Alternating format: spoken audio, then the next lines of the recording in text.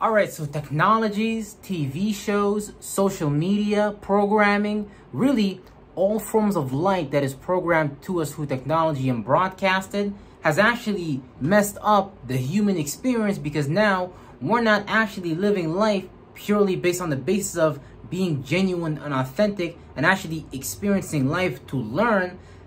Social media programming, music videos, movies that are broadcasted at us with a particular agenda behind them, usually for us to play out a specific perspective, a specific awareness that came from someone else's mind. So now instead of us just living life for the sake of learning and experiencing things and developing our own mind, developing our own awareness and stuff like that, nowadays we actually have movies in people's minds. We got Instagram videos in people's minds. We got holographic mind hijacking that's actually catering to people's biases and stuff like that. A lot of times people's insecurities and people's fears and stuff like that, how they believe, how they think, how they feel life should be played out based on holding on to things that purely come from online and things that really people um, are projecting based upon a, a, an agenda and a narrative behind it is really ran by the, by the shadow government now and stuff like that, right? So when you watch music videos, right, a lot of times those are thoughts and feelings because everything is a frequency weapon to a degree. So if I'm projecting at you a music video, I'm also projecting at you my ideas, my feelings, and things like that, right? Now, if we're just human beings, if we're just people living everyday life, and we're trying to experience life from our awareness so we can learn, so we can grow, so we can actually perceive what's going on in the situation from our perspective, right? We're not going to be able to do that from a full capacity, from a holistic standpoint, just because we're living life from a music video that we saw online, we're living life from a TV show that we saw. We're living life from a movie that we saw. So we, or we're living life through the lenses of a political party that has been given to us by the political devices of the government that we participate in jumping to just based upon what we cater to as far as whether you're on the left brain hemisphere or the right brain hemisphere. So for example, right, if you're in the America and you're like a Republican, you may be more so on the left hemisphere, hemisphere perspective. Hmm, mathematics, science, Logic is what matters. If you're more Democrat, hmm, freedom, being liberal, let's care about everybody. So these are things that are making us jump into our own biases rather than us just going within first. Because first you got to go internally and check why is it that we're even jumping into that biased half perspective of the experience before we even jump into it so we can see, okay, am I actually jumping and catering to this based upon a narrative and am I getting ready to play out something that's really a half truth based upon me not connecting with myself properly or maybe even because look when you're talking to people nowadays you're not just talking to people. You're talking to all the social media videos they saw. You're talking to all the movies they saw. You're talking to all the tv shows they saw. Because social media is a very fake place. You got people in china right now selling people videos of because if you want to live, if you want to pretend like you live in a mansion, if you want to pretend like you live, you got some fancy cars, you got people in China right now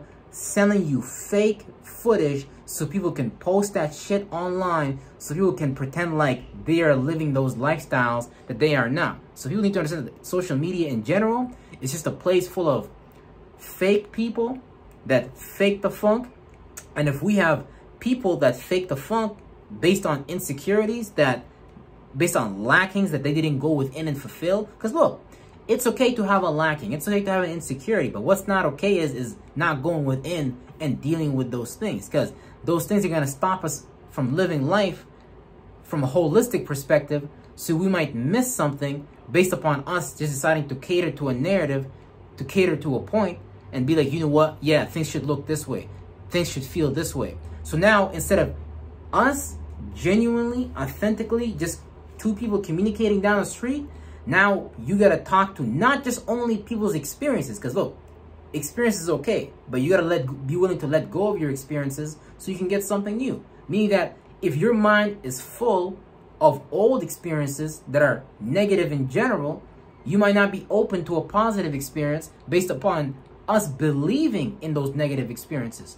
But not only do we have that today, we also on top of that have the social media feed that's feeding our biases and stuff like that. So let's say, God forbid, for example, one person decides, hey, I hate black people, or I hate white people, or I hate brown people, or hey, whatever it is they hate, and they're constantly looking for reasons online, you know, because social media is engineered to feed into you whatever it is that you're looking for because it's a search engine. So if you're looking for the truth, you can find it on social media because it's just a search. And if you're looking for the truth, you can just have that on your mind and you having that question will lead you down on a quest line for you to fulfill that question so you can actually get that answer. But nowadays, when you're talking to people, you're also talking to their political affiliation, you're also talking to their religious affiliation. You're also talking to the music video they saw four weeks ago, which if you're a woman, it might have told you that, hey, men are not shit and, and we're pimps of this motherfucker. We alpha females and we running men. You know what I'm saying?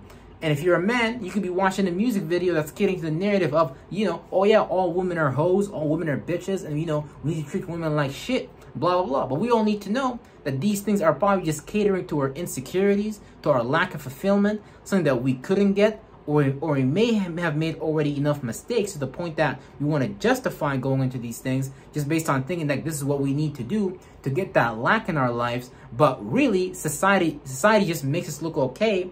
And really, humanity and people in general are actually destroying themselves because really, I blame the shadow government. I blame the government because they know what they be doing and they just let people jump into these things without explaining the witchcraft and the mechanics behind these things and what these things do in the long run as far as creating divide and conquer narratives, uh, you know, prejudice between people without, because at the end of the day, we're all just people at the end of the day, right?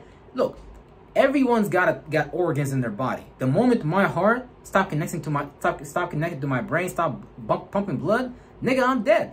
I know that for a matter of fact, if I do an international trade, let's say I'm getting wheat from Ukraine, and exchange, I'm let's say I'm giving uranium or the, or silver, let's say, from America. Now we're just trading just based upon us knowing how to benefit each other. If we can learn how to benefit each other, then I think that's pretty good. But if we're just learning online ways how to harm each other, and we're giving the government excuses to kind of like interject their instruments to control us even further based on upon based upon us going down like a, based upon just going down like one of their rabbit holes that really they're trying to get us into so they can actually justify doing something. Because their idea is this. Let's create a problem and then present the solution when they're knee deep in that problem. So they let your mind get heavier heavier heavier. Demonic demonic demonic. Hell, hell, hell, and then they present themselves as that angel, as that saving grace to bring you out of that hell. But that will be another hell to go into for them to experience that heaven. So when we're talking to people in real life, we're just talking not only people's experience, we're talking people's political affiliations, we're talking people's goddamn it, uh, previous boyfriends, previous girlfriends, shit, uh, goddamn it, music videos, everything that Blu-ray technology projects onto people, Instagram videos, blah, blah, blah, all these things. You're talking to people that literally are robots, basically. They got memes on their minds. Because the moment that you're not developing your own awareness, the moment that you're not letting go of these things, these thoughts and feelings that they're like things, like, look, if I jump into the shower today, I'm going to take off my shirt, I'm going to take off my pants, and I'm going to take off my underwear, and I'm to change into a whole new set of clothes. Now imagine motherfuckers is just accumulating shit. Motherfuckers has just got shirts on shirts and the shit's getting dirty and motherfuckers is not changing it esoterically speaking from their mind their mind is becoming heavier and heavier while so really that what that means is they're not allowing themselves to be open to experience something new and whenever we're not allowing ourselves to experience something new we're just holding on to an old perception an old bias an old experience that we're filtering life through as a lens because we think that this this is life and this is what it means to be like. Because this this this is what happened to you. This is what happened to me. And this is just what it means to live. So people live life through their religious lenses. People live through the people live through the uh, lenses of their goddamn it mother and father's programming. People live through the lenses of um the movies they watch. People live through the lenses of the music videos they watch people live through the lenses of the memes they watch and it's like it's all types of where it's basically just an allegory for having rose colored glasses you gotta be real careful what lens you choose to you know, walk down life upon. Because if you, depending on if your lens is broken, you can't see things clearly from a clarity perspective, because you might you might not be practicing clairvoyance or just the art of letting go and stuff like that. Then you're gonna find yourself going through the same people, dealing with the same places, doing the same things, just in different ways. But it's only gonna get like worse and worse and worse, because again, it's it's like people is not going within themselves and dealing with those things. So people are open to these social media devices, these holographic light projections of consciousness that's being projected onto them, just, I guess, purely based upon the fact that they're bored and like, since people out there, and because you need to understand, 99% of the world is demonic, and 99% of the world is controlled by the shadow government. And 99% of the world is shadow, the world is being programmed by the shadow government. That lets you know most information online you really just need to put that to the side and just be like, hmm, okay, why is someone trying to get me to think Islam versus Christianity? Why is someone trying to get me to think, oh, it's left versus the right? Why is someone trying to get me to think, oh, it's the far left versus the far right? Why is that we're always creating these new denominations, these, even in religion, you can have Catholicism, Protestants, God damn it, the, the Anglican Church or Islam, you can have Sunni, Shia, Sufism. Why is it we're always creating like, for example, Nestle, you can have Kit Kat, Coffee Crisp, Mars, but all these things are owned by one brand. So we need to understand what was the intention behind that original brand, the person that created that music label. Why is they signing on artists that cater to different narratives? What is the actual agenda? The actual agenda is creating online fishnets where minds can jump into based on whatever lacking or insecurity or bias that someone is catering to so they can go fulfill that as a prophecy via them catering to that predictive programming just through making themselves available to that reality or just not being aware of what are they allowing their mind to be fed because your mind is constantly being fed and that's the thing about the matrix the matrix is like a bunch of plugs being connected to us mentally where we're constantly on our phone we're like hmm what's happening on the news hmm what are we doing this? So before we even experience life, we're already letting our phones interject between the experience of life, which is supposed to be genuine. Animals don't do that. Humans do that. Now, I'm not saying information is bad. Information is really good, but you have to use your phone. You can't let your phone use you. Because if you're letting your phone use you, then that's just being a robot. It's being an NPC. You gotta have a purpose behind these devices. Like, if we're just flunked out, no, no, from time to time there's nothing wrong with it, but what I'm saying is be aware of what you're being fed. Because shit, if I'm going to the grocery store and I'm feeding myself, I'm to be aware of what I'm feeding myself and the, and the effects that it's to cause. Because at the, at the end of the day, I understand the relationship between cause and effect.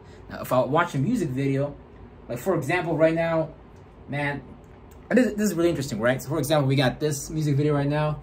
Uh, Wannabe GloRilla, I think name is.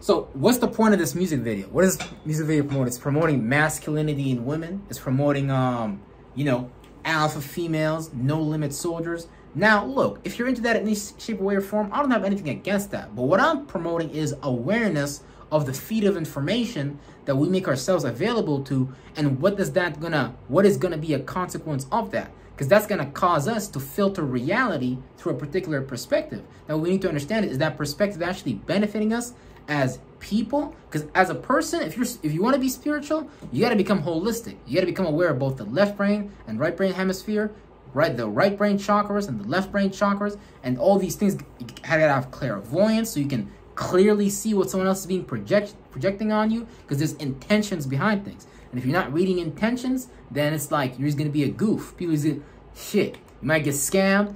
Get, a lot of shit could happen.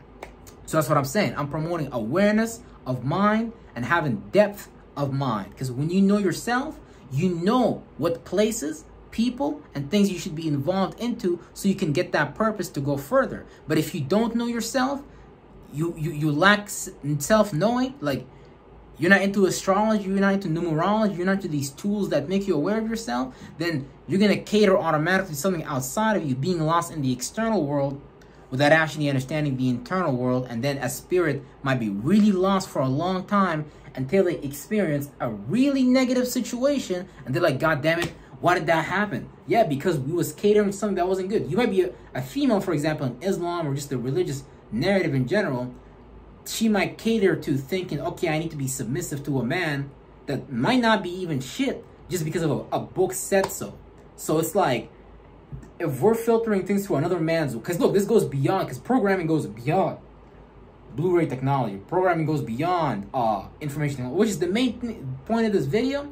But religion itself is uh, a program. Religion itself is a word that someone else is projecting on you. So we need to understand the purpose behind these things. And a lot of the times, religious folk, they get lost in the external exoteric side of these things and they don't understand the esoteric meaning of these things. For example, the Bible tells you, you know, uh, a woman is not supposed to speak or some shit like that. It just, it's just talking about an observer within the body is not necessarily supposed to speak from their emotions sometimes because that can make a person seem irrational or, you know, um, just unequalized, unbalanced. So they're coming from an unbalanced space. So that's what the Bible and these books be talking about. They're not talking about drop a Quran book or a Bible book on a feed. It could become witchcraft and you could use it on people so people could listen and cater to you. But at the end of the day, that per that means that person lacks self-awareness and they're projecting an awareness and a light on somebody that they want to play out because really they have a movie in their head, but the movie in their head was given to them by someone else and they're not really aware they're themselves like that and the shadow work they need to do,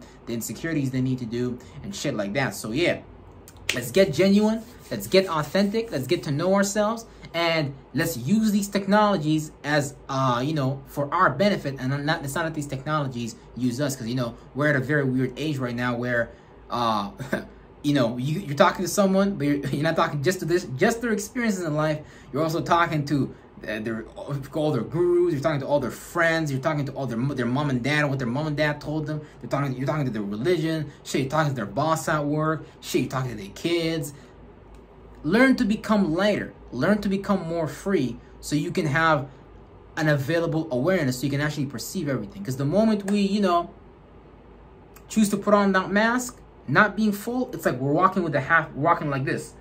Uh, the eyes are supposed to see the whole peripheral but for some reason our eyes now i'm trying to look but this is so funny but real shit but yeah it's like we're supposed to see the full picture but we're only allowing ourselves to see half the picture because we're like yeah, I like I, I, like I like this insecurity. I like this man. We make it sound good and look good to wear and take out into society, which is just really fucking stupid. And to a person that's spiritually aware, it's just gonna make you look stupid. So when people try to use race narratives against me, people try to use religious narratives against me, like or just try to talk to me based on my skin color as if like I'm that, I just look at them like, bro, you stupid, and you're gonna make yourself look stupid.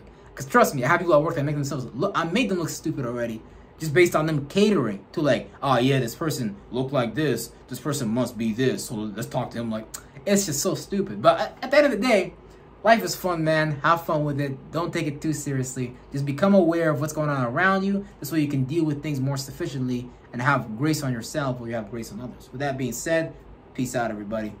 Peace.